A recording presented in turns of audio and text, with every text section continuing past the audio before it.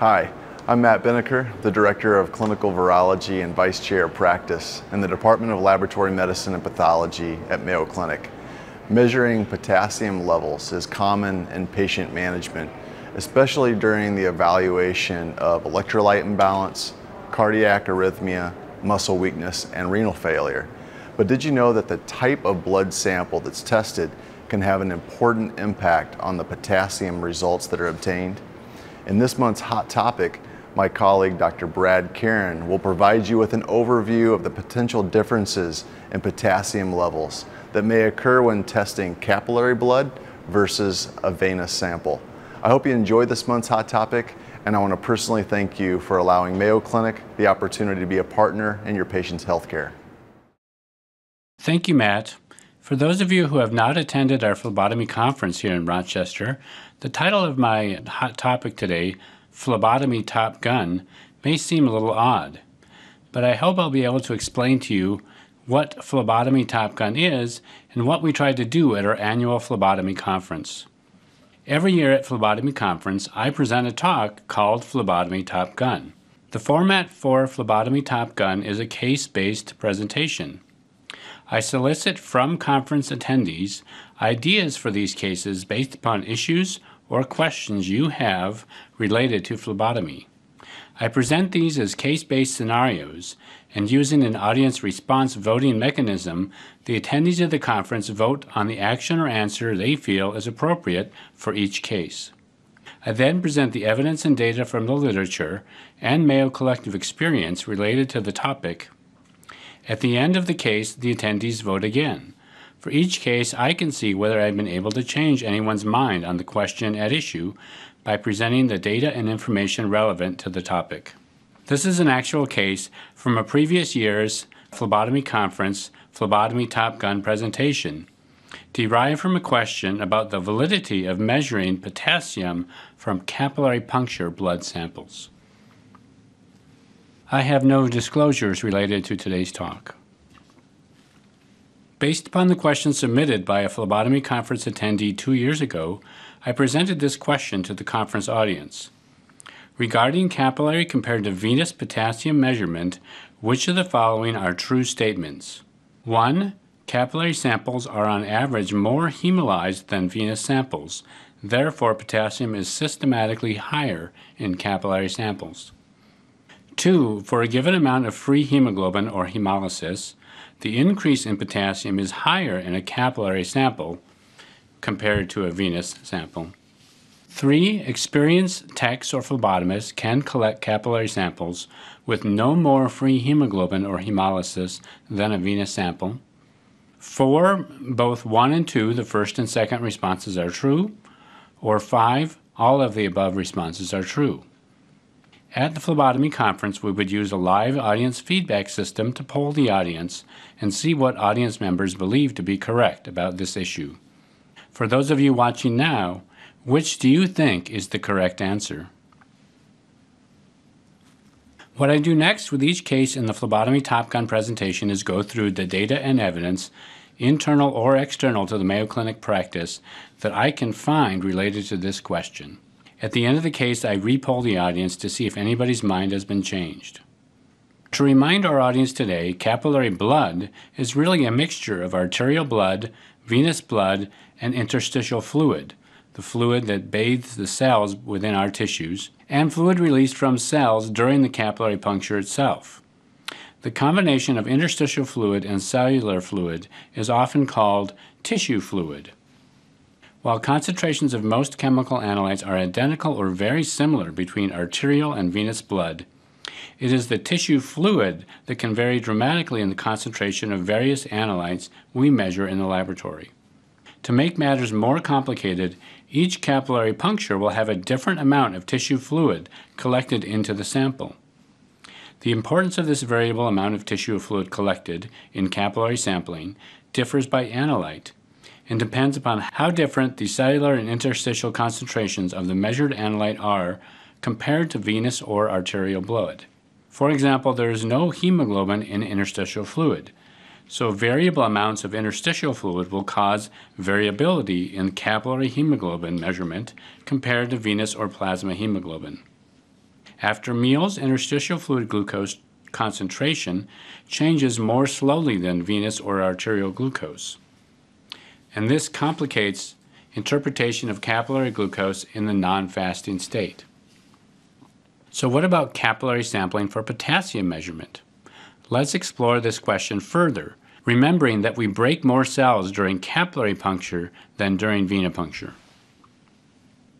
On this slide, I provide a reference to an older study comparing potassium values from infants with simultaneous blood collection from an indwelling arterial catheter compared to a capillary heel stick puncture.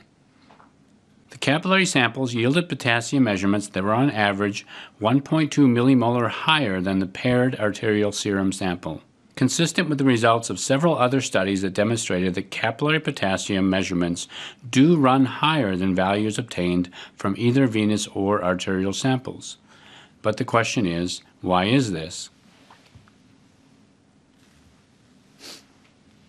This next study, also a bit older, compared the average amount of free hemoglobin from hemolysis during capillary blood collection between infants and children of varying ages. For comparison, the average amount of free hemoglobin in a venous specimen collected from an adult is less than 50 milligrams per deciliter. As you can see, capillary punctures performed on infants in the first two weeks of life resulted in, on average, almost 400 milligrams per deciliter of free hemoglobin in these samples. By two years of life, the average free hemoglobin level decreases to around 150 milligrams per deciliter. So capillary puncture in very young infants will have more free hemoglobin than capillary puncture in children older than two years of age. This next study was performed at Mayo Clinic around 10 years ago. We wanted to know whether phlebotomist training impacted the amount of hemolysis or free hemoglobin in capillary puncture samples from newborns. We looked at three groups of capillary puncture samples. Group 1 consisted of capillary punctures performed by an outpatient phlebotomy group, while Group 2 were samples collected by the very same group of outpatient phlebotomists after specific training or retraining, in this case, on capillary puncture in infants. Group 3 consisted of samples collected by an inpatient pediatric phlebotomy group that has more experience and does more newborn capillary collections. As you can see, the bottom line of our study was that experience in, in terms of number of capillary punctures or retraining of staff had no effect on the hemolysis levels or amount of free hemoglobin in capillary puncture samples from healthy newborns. The last formal study I'll discuss is perhaps the most interesting. This study compared the amount of free hemoglobin this time measured as a semi-quantitative index, to average potassium concentration in both capillary and venous samples.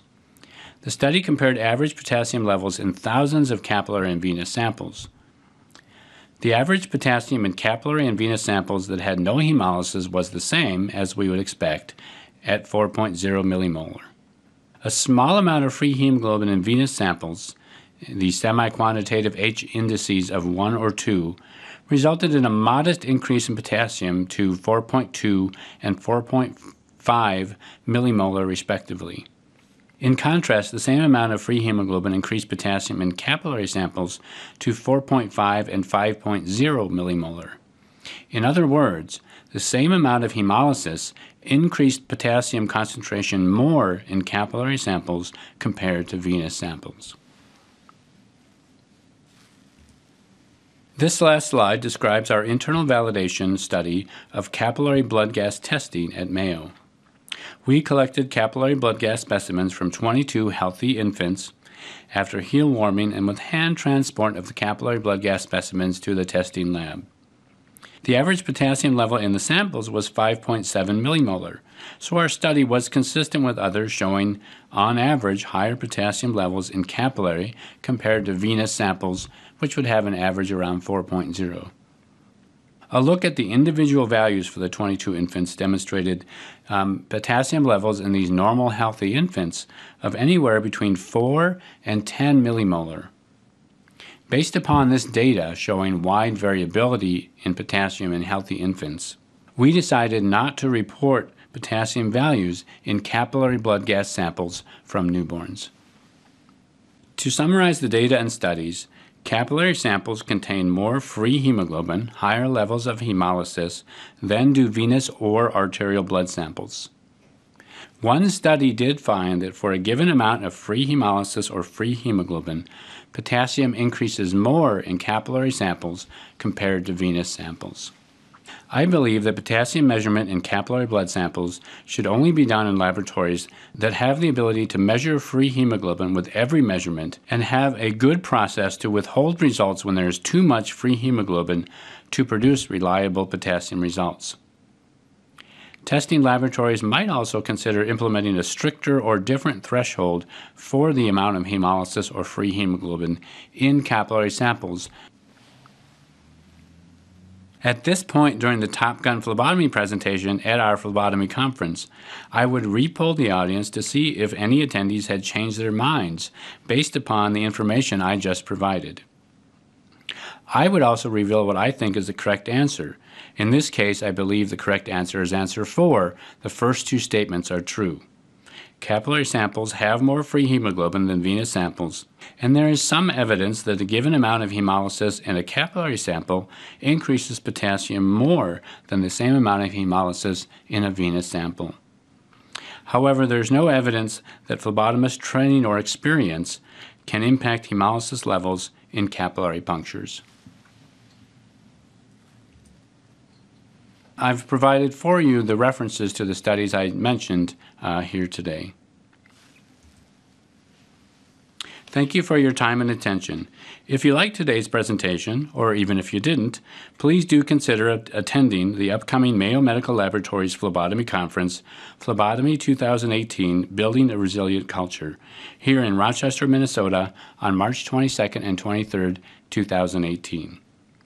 As in previous years, the conference will feature presentations from expert speakers covering a variety of topics related to phlebotomy skills, phlebotomy management, and other topics. Learning will take place both in large groups and small breakout sessions. Tours of Mayo Clinic facilities will also be offered during the conference. I will also be presenting a, a, new phlebotomy Top Gun presentation based on this year's attendees' um, interest, issues, and concerns.